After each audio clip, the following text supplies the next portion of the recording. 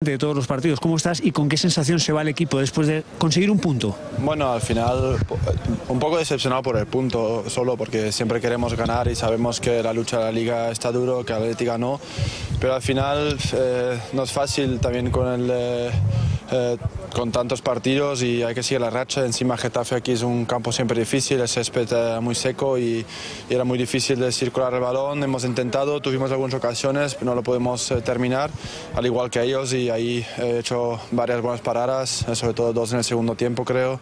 Y bueno, el que va al palo el primer tiempo lo toco con, lo rozo con el dedo, pero bueno, no sé si eso cuenta, ¿no? Pero bueno, eh, nada, es un punto, no sé encajar gol, esos son los lados positivos, pero bueno, un poco decepcionado por no ganar. ¿Cómo, ¿Cómo ha ido evolucionando el equipo poco a poco en el partido y cómo cambia también eh, el equipo con la entrada, por ejemplo, en la segunda mitad de, Karim Benzema y Antonio Blanco y con la distribución de Luca Modric con otra posición? Sí, yo creo que al final también hay que darle valor al trabajo de los chicos. Por ejemplo, Antonio entró y ayer jugó 90 minutos, arriba es igual y, el ritmo aquí es muy alto, entonces es muy bueno lo que hicieron. Chus también ha hecho un buen partido y es bueno ver de la cantera a la gente venir. Eh, yo creo que eh, la primera parte nos costó con el balón, eh, caí, igual eh, jugamos demasiado atrás. Segundo tiempo intentamos mejorar eso y no encontramos los huecos como queríamos y, bueno, eso es el punto un poco negativo entre comillas. Anímicamente, Tibu, ¿cómo se levanta un equipo cuando se encuentra con tantas dificultades y aún así hoy consigue sumar?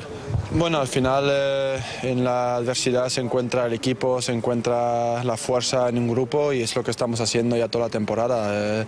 y no nos vamos a llorar por bajas o por otras cosas. Al final hay que echarle eh, cara siempre y yo creo que es lo que hacemos. Al final eh, todos los jugadores que están aquí en Madrid están aquí por algo y, tienen la calidad para ganar hoy al Getafe también. Muchas gracias, Tigo. Gracias a la Madrid. Tigo Courtois, protagonista en Real Madrid Televisión. Gracias, Alfonso. Nos vamos directamente a la sala de prensa del Coliseum. Escuchamos al técnico del Real Madrid, escuchamos a Zinedine Zidane en directo, Real Madrid Televisión.